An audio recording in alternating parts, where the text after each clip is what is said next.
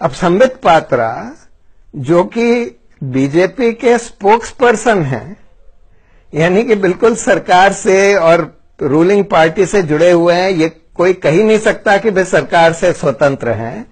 वो तो हर चीज़ सरकार की डिफेंड करते हैं, कितनी भी गैर कानूनी हो, कितनी भी बेईमानी की हो, हर चीज़ को डिफेंड करने के लिए स्पोक्समैन का काम यही मान लिया गया है कि भाई वो सरकार की बस चमचागिरी करे, सरकार को बस डिफेंड करे।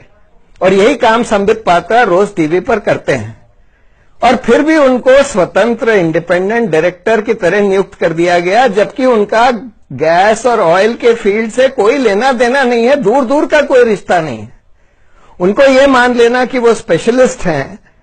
इसके ये तो बिल्कुल मतलब बकवास बात होगी।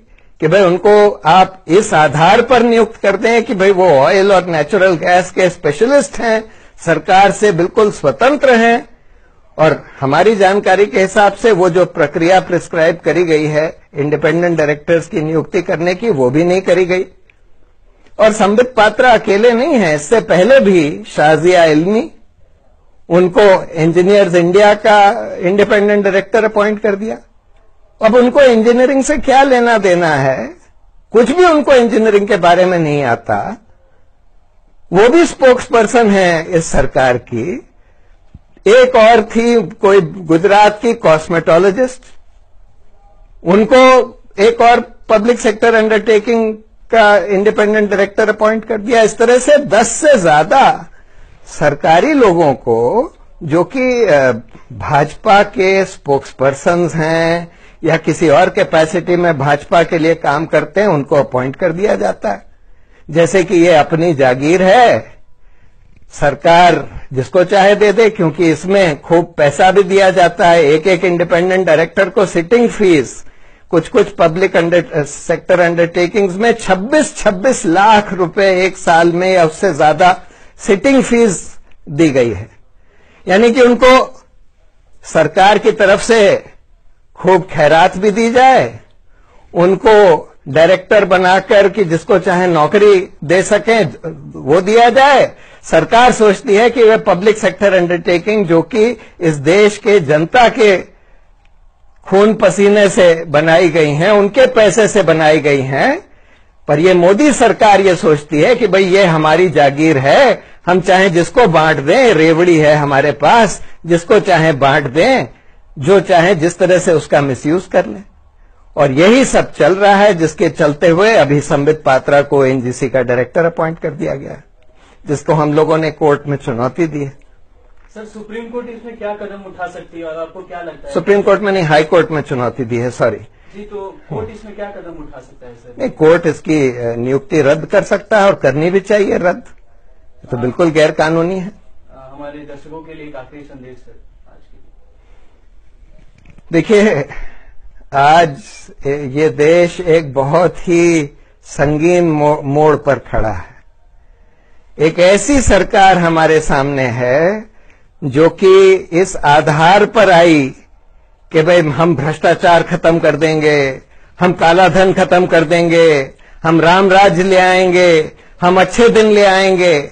और आज हम देख रहे हैं कि भ्रष्टाचार खत्म करने के बजाय भ्रष्टाचार के खिलाफ कानून और जितनी संस्था बनी थी, उन्हीं को खत्म कर दिया। आज हम देख रहे हैं कि पारदर्शिता सारी खत्म कर दी। आज हम देख रहे हैं कि अच्छे दिन के बजाय ऐसी सिचुएशन ले आए हैं कि जहाँ पर बेरोजगारी रोज एक नए चरम पर जा रही है। कई लाख लोग इस सरकार के आने के बाद कम से कम 50 लाख नए युवक बेरोजगार हो गए। जो रोज़गार के उसमें आते हैं, वो बेरोजगार हो गए।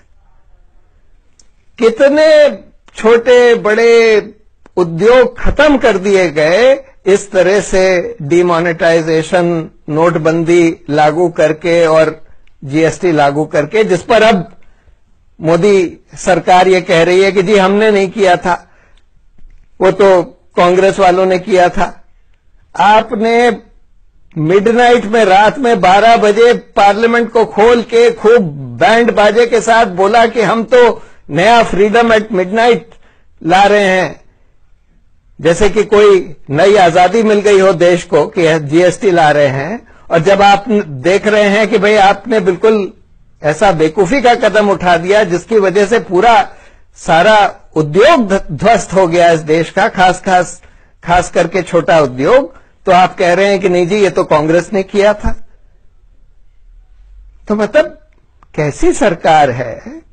कितने ऐसे लोग हैं कि जो एकदम झूठे वादे करके, झूठा ढोंग रचा के, भ्रष्टाचार को बढ़ावा दे रहे हैं। और इसलिए ये बहुत और, और सिर्फ़ यही नहीं मतलब तरह तरह की चीज़ें हो रही हैं। कहीं गाय के नाम पर गुंडागर्दी चल रही है रोमियो स्क्वाड के नाम पर गुंडागर्दी चल रही है। बिल्कुल इस देश के सारे इंस्टीट्यूशंस को ध्वस्त किया जा रहा है इलेक्शन कमीशन को ध्वस्त किया जा रहा है उसको उसकी स्वतंत्रता खत्म करी जा रही है। कंट्रोलर एंड ऑडिटर जनरल की भी स्वतंत्रता खत्म करने की पूरी कोशिश करी जा रही है। सीबीआई की तो खैर करी जा रही है उसके अलावा न्यायपालिका की भी स्वतंत्रता खत्म करने की कोशिश करी जा रही है। ऐसी सरकार तो इमरजेंसी में भी नहीं थी, जैसी सरकार ये निकल कर आई है। जितना बड़ा खतरा आज लोकतंत्र के लिए पैदा कर दिया है इस देश में, उतना बड़ा खतरा तो इमरजेंसी में भी नहीं था। होगा।